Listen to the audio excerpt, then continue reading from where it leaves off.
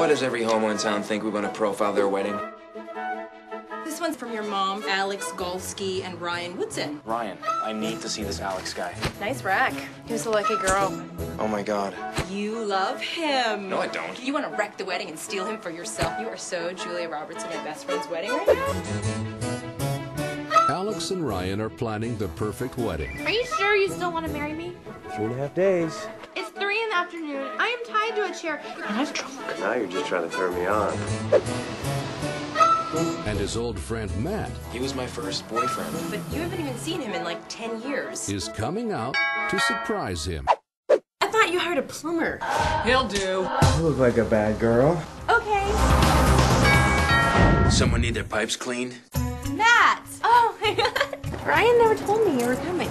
He actually doesn't know himself. Hey, Ryan. Oh, you're. Oh, it's good to see you. Now, this small town wedding I got a little trigger happy. is becoming I've really missed you. Does Ryan know? This old Becca talk, huh? You know what? a big time affair. Have you come out to him? I'm gay. Whoa. Wow. This Ryan guy, is he? I'm not really sure. Is your gaydar on the fritz?